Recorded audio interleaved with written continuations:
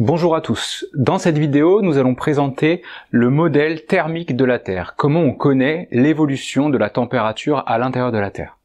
Déjà, tout d'abord, l'évolution de la température en fonction de la profondeur, c'est ce que l'on appelle le géotherme. Géo pour la Terre, terme pour la température, c'est donc l'évolution de la température à l'intérieur de la Terre. Comment on connaît ce géotherme? Comment on connaît la température aux différentes profondeurs dans la Terre? Eh bien, grâce à deux méthodes. La première, c'est grâce au forage. Le fait de creuser à l'intérieur de la Terre permet de mesurer la température à l'intérieur de la croûte terrestre, sauf que les forages n'ont pas été à plus de 12 km de profondeur. Donc on a des indications de la température, mais uniquement très superficielles, juste sur les premiers kilomètres de la Terre. Grâce à ces forages, on a pu identifier que la température dans la lithosphère évoluait de 30 degrés à chaque kilomètre. Ce rythme de 30 degrés par kilomètre, c'est ce que l'on appelle le gradient géothermique. Dans la lithosphère qui fait 100 km d'épaisseur et qui est entièrement rigide, la température évolue énormément à chaque kilomètre, de 30 degrés par kilomètre. C'est un gradient géothermique important. À chaque kilomètre, la température évolue beaucoup.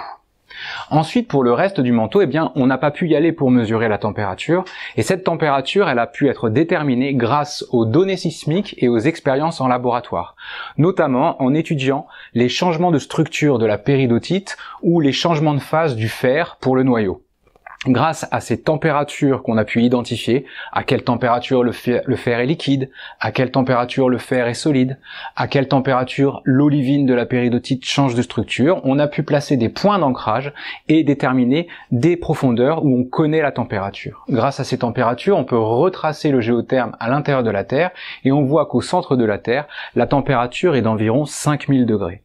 Mais c'est pas la température qui nous intéresse ici, mais plutôt le gradient, c'est-à-dire l'évolution de cette température avec la profondeur. Dans la lithosphère, on a dit que cette température, elle évoluait de 30 degrés par kilomètre. C'est-à-dire que les transferts thermiques dans la lithosphère sont peu efficaces. À chaque kilomètre, la température change beaucoup. La chaleur n'est pas bien répartie entre la surface et la profondeur. Alors que dans le reste du manteau, on a un gradient géothermique uniquement de 0,5 degrés par kilomètre, voire moins. Ça veut dire qu'à chaque kilomètre, la température change très très peu. Ça veut dire que les transferts thermiques à l'intérieur du reste du manteau sont très efficaces. La chaleur est bien répartie à l'intérieur du manteau. Alors comment on peut expliquer que cette chaleur soit mal répartie dans la lithosphère et, un gradient géothermique élevé, et que la chaleur soit très bien répartie dans le reste du manteau avec un gradient géothermique faible? Eh bien c'est grâce aux transferts thermiques que sont la conduction et la convection.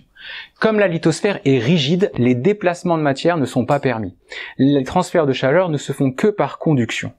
Alors que le reste du manteau c'est de la péridotite ductile, voire très ductile, donc molle, et les déplacements de matière sont permis. Comme la matière peut se déplacer, la chaleur peut également se déplacer.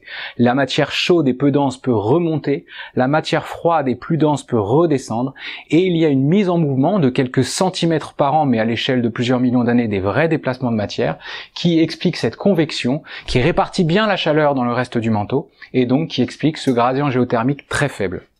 Donc ce qu'on retient de tout ça par rapport à la structure thermique de la Terre, c'est que dans la lithosphère, le transfert thermique se fait par conduction. Parce que la lithosphère est rigide, il ne peut pas y avoir de déplacement de matière, et c'est un transfert thermique peu efficace, et donc un gradient géothermique très élevé, de fortes différences entre le haut et le bas, alors que dans le reste du manteau, très peu de différence de température entre le haut et le bas, parce que la chaleur est bien répartie, et cette bonne répartition de la chaleur est permise par les mouvements de convection, car il y a des mouvements de matière parce que la péridotite est ductile.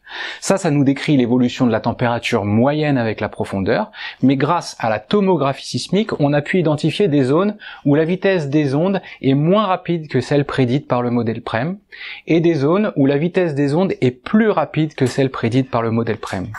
Comme la vitesse des ondes dépend de la densité, cela signifie que dans les zones bleues où la vitesse des ondes est plus rapide, la densité est plus élevée. Parce que plus une densité est élevée, plus les ondes peuvent se propager rapidement. Et dans les zones rouges où la vitesse des ondes est moins rapide que le modèle PREM, cela signifie que la densité est faible puisque les matériaux de faible densité permettent une propagation des ondes plus lente. Donc on a des zones très denses qu'on peut identifier, des zones moins denses qu'on peut identifier, et ces différences de densité, elles peuvent s'expliquer par deux choses. Soit ce n'est pas la même roche, soit ce n'est pas la même température. Or, dans tout ça, on est dans du manteau, on est dans de la péridotite, donc c'est la même roche. Donc ces différences de densité sont très certainement dues à des différences de température. On sait que les matériaux chauds sont peu denses et ont tendance à remonter, et que les matériaux froids sont plus denses et ont tendance à descendre. Donc ces zones bleues, en fait, où la vitesse des ondes était plus rapide, cela signifie que la densité est plus importante, et comme la densité est plus importante, cela signifie sans doute que c'est c'est un matériau plus froid qui est en train de descendre à ce niveau-là. Et dans les zones rouges où la vitesse des ondes est moins rapide que le modèle PREM, cela signifie que la densité est plus faible et donc sans doute qu'il s'agit d'un matériel chaud qui peut-être est en train de remonter.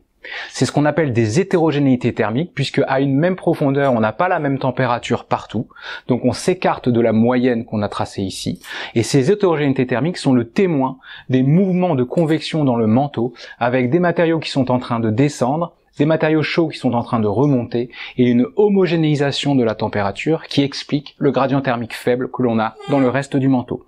Voilà pour le modèle thermique de la Terre. Merci